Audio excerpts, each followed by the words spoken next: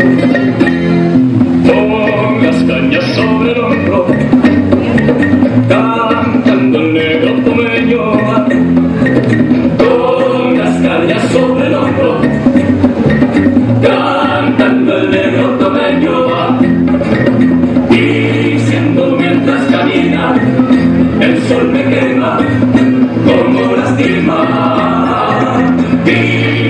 Mientras camina, el sol me quema como lastima. Traje típico, diosa de la fertilidad. Carolina Patiño luce una creación del joven diseñador Carlos Vega de la provincia de Loja. Este traje está inspirado en la producción de la caña de azúcar, principal actividad económica y grandes exportadores de azúcar, Monterrey. En su cabeza lleva una corona en color dorado, reflejando la majestuosidad de los rayos del sol, imponentes y activos, dando su color a todos sus nativos símbolos de majestuosidad y poderío.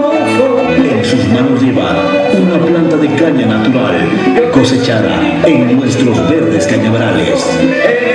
En su parte trasera lleva una aureola en forma de círculo, adornada con plumas de pavo real, la cual le da la fantasía y elegancia a este espectacular traje.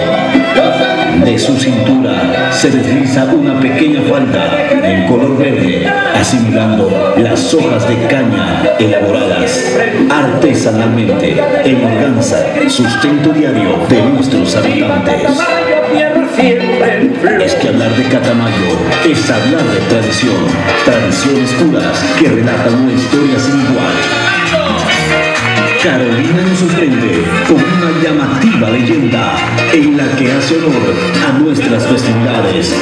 Con una viva Catamayo, la misma le el toque especial a este traje típico que sin duda relata lo que somos y lo que tenemos para brindar a todos los que visitan Catamayo.